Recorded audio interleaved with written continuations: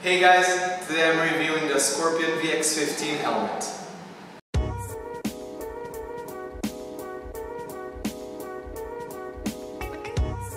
I needed a new helmet so I decided to buy this one and being an entry-level helmet so costing between 100 and 200 euros for the average rider I think it's a really good helmet. Uh, it's quite light and it's really good looking helmet as well.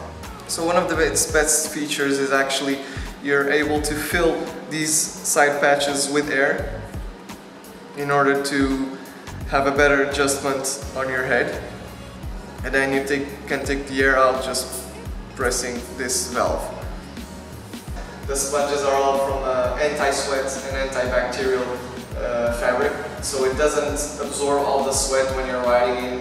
Tested it out and it actually improves itself. It's really good fabric and it's actually a lot easier to clean the helmet after that. Uh, they are all removals so it's easy to clean. Another really nice thing from this helmet is that the removable nose protection. It's really handy on quick races, but for example, I wouldn't recommend if you're riding hard enduro because as you know, you're always looking around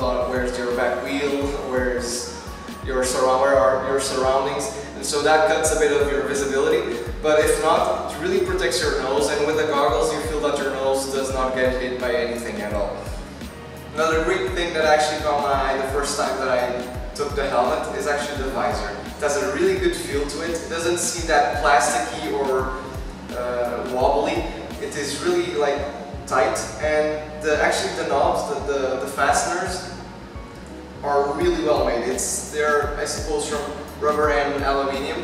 They tighten it really well and the visor doesn't have that plasticky feel because of these three rings that they have here which enables the visor to get really well stuck on the, on the helmet and I would recommend not over tightening it this centerpiece because because of the visor they have some three three little, little lines to grip a bit more but if you over tighten it you pretty much cut the center ring so it's something that they don't have on user's manual but uh, at least you know uh, what not to do and don't do the same mistake as I did.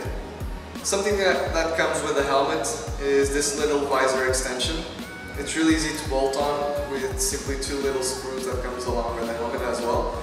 And I think it's just a, like a really cool feature. To wrap it up, this is an entry-level helmet, road legal, with a great looking design and taking into account all the features that comes along with the helmet, I would definitely recommend this product. Good shopping!